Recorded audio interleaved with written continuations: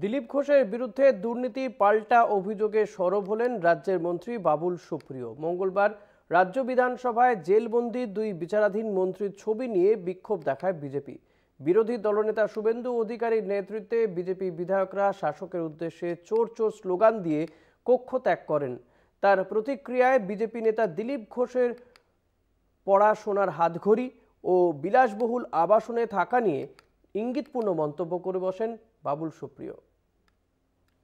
রাজ্য বিধানসভার অধিবেশন শুরু হতেই মঙ্গলবার বিজেপি বিধায়করা শাসক দলের বিরুদ্ধে বিক্ষোভ দেখাতে শুরু করেন। দুর্নীতির অভিযোগে রাজ্যের দুই মন্ত্রী পার্থ চট্টোপাধ্যায় ও জ্যোতিপ্রিয় মল্লিক জেলেবন্দি।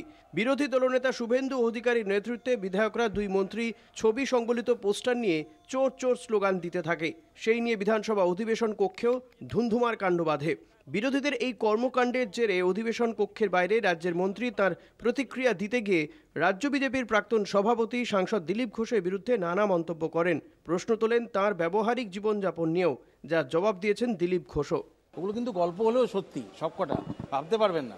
আমি দিলীপ ঘোষকে জিজ্ঞেস করব, আপনি এত রোজ সকালবেলা হেঁটে এত বড় বড় কথা বলেন, আট মাস, এক বছর কার বাড়িতে ছিলেন? কোন ব্যবসায়ী আপনাকে বাড়ি দিয়েছিল?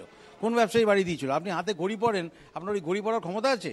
কোথেকে পেলেন? ঘড়িটা সোনার ইয়ে করা।